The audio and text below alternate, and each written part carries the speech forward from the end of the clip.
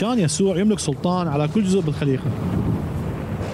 مع أنه هو ما كان يمشي بالشارع ويقول اعبدوني أني الله أني الله.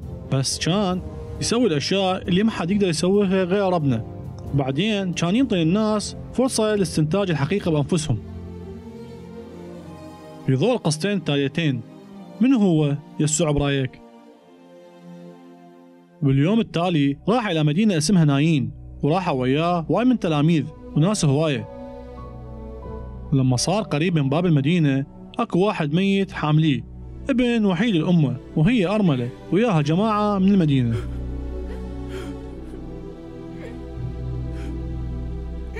لما شافها الرب تحنن عليها وقال لها لا تبكين. بعدين تقدم ولزم النعش. فوقف الناس اللي كان حاملين النعش.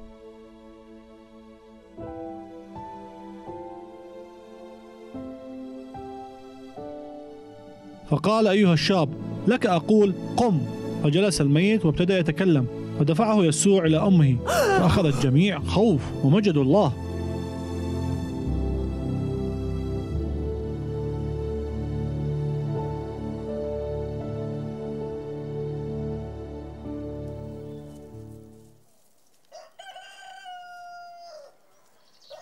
فد يوم من الأيام راح زار يسوع أختين حزينتين.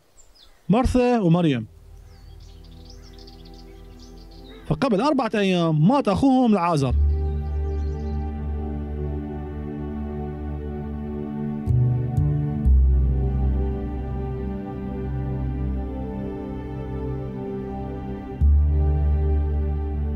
فقالت مارثا ليسوع يا سيد لو كنت ها هنا لم يمت أخي.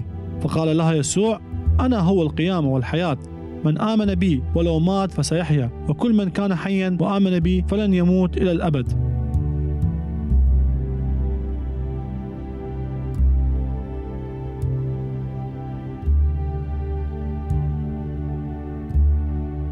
أتؤمنين بهذا؟ فقالت له نعم يا سيد أنا قد آمنت أنك أنت المسيح ابن الله الآتي إلى العالم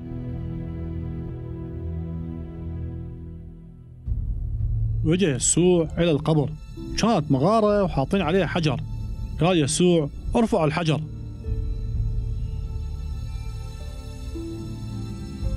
قالت له مارثا أخت الميت.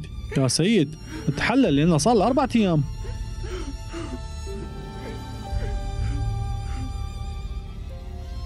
فقال لها يسوع ليش أنا مو قلت لك إذا آمنتي تشوفين مجد الله.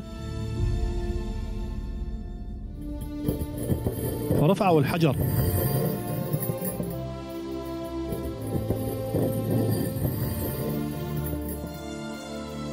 ثم صرخ يسوع بصوت عظيم لعازر تعال اطلع.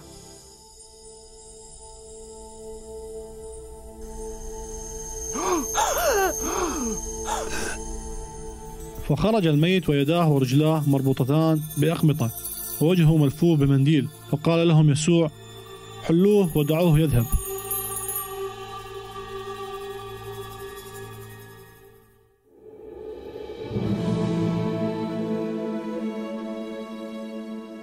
أن يسوع هو الوحيد بالتاريخ كله. اللي قدر أن يقول أنا هو القيامة والحياة.